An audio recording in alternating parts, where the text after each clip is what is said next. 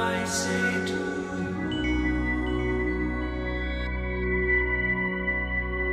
gather in my name, I am with you.